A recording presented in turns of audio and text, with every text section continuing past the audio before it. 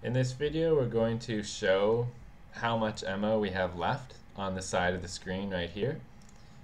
So normally, you know, when we shoot and we run out of ammo, we, there's just no way for me to know that I've run out.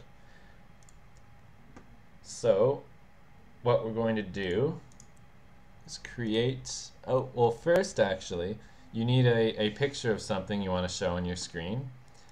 I've already got one in Assets, Resources, Textures. I made a folder called Textures.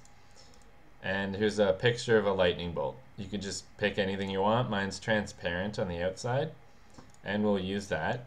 So in Scripts, right click, Create C Sharp script. Call it Ammo Display. And open that up. So from the uh, the blob shoot or projectile shoot video from before. Um, you may have a, couple of these, but you should have ammunition here and game variables.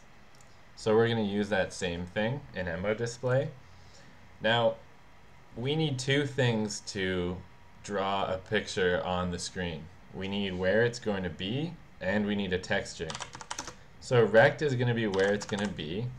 This will be the coordinates of the first lightning bolt we want to draw. And then we also need a texture. We'll call it texture. So in start, we're going to set our rectangle. And this has um, a left, top, width, height. So an x coordinate, y coordinate, width, and height. Um, so you could write something like 50, 50, I don't know. You could guess on how many pixels to the left you want, but if you have a small screen or a big screen, your pic your pictures, your textures could be really tiny and really big or mushed together or spread apart. It's kind of messy. You want to use actually the size of your screen. So screen.width. I'm going to make my x coordinate 5% of that. I'm going to make my y coordinates 95% um, of the height because um, the y coordinate starts at the top, so 0 is at the top. And the width, I'm going to again use screen.width. It's going to be 5% of that. And just to make it square, I'll do the same thing for the height. So now we have a rect, the place of our first texture, and we need a texture. We're going to load our resource Remember the folder was textures, the file was energy as texture. Now the reason we put this in start is so that we only open the picture once. If we put it in here, we'd be opening it every frame. And you might notice when you open a picture on your computer, like in Paint, to edit it, it takes just, you know, a tenth of a second or half a second to open the picture. That's pretty quick, but it's not quick enough for update. You only really want to do that once. This is opening the picture to just get it ready. So now that it's ready, we're going to, we can draw a texture like so. Right, so draw texture. Oh, of course. This can't happen in update actually. Just like we have uh, start, hap Unity makes this happen when you start or when the object starts. Update happens every frame. You might have seen another one was on fixed, on collision, enter. You know, there's a few, a few like this that Unity makes happen. One we're going to use now is on GUI. That's a capital O, little n, capital G, capital U, capital I. So in that we can do stuff like GUI, draw texture. Now this takes a rect and an image. So we have both already. Now let's see what this does.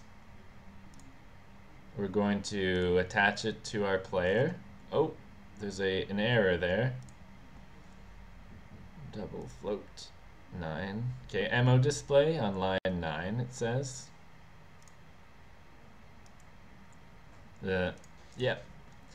Decimals need an F in C sharp. Just to be clear that it's a decimal. It's a float for F. Okay, the project was able to, you know, compile, so that worked. So now I'm going to click my player, add Ammo display, and we'll see what we got. Okay, we have, well, it's one lightning bolt kind of hiding. I'll make it a little higher. But we do on the bottom left have a, that yellow lightning bolt, so that's good. I'm just going to make it start at 90%. Now, this only draws it once. What we want to do is draw as many as you know, we have, and that, that's in game variables, ammunition. That's the number of times we want to draw the lightning bolt. So when you want to do lots of the same thing, that's a for loop. I will start at zero, as long as I is less than, or I mean it, ooh, what's going on there? Less than game variables dot ammunition and i plus plus. Okay. So this is going to happen the number of times, uh, you know, the number that of ammunition we have. So if we have 10, this will happen 10 times. I will be 0, 1, 2, 3, 4, 5, like so. We do need to change rectangle just a little bit to move where we're drawing it, because this will draw 10 in the same spot. So I'm going to make rect, new rect equals mm, new rect. I'm going to use the x coordinate. The y coordinate is going to be the same as our y, but minus i times screen dot, hmm, I probably, oh, whatever. I could have done this a little clearer. 7% of the screen each time it moves up. It'll move up 7% of the screen higher, a little bit, um, a little bit less. So uh, then the width is going to be the same, and the height is going to be the same. So now we have our new rect, and then we just pop it in here and save it.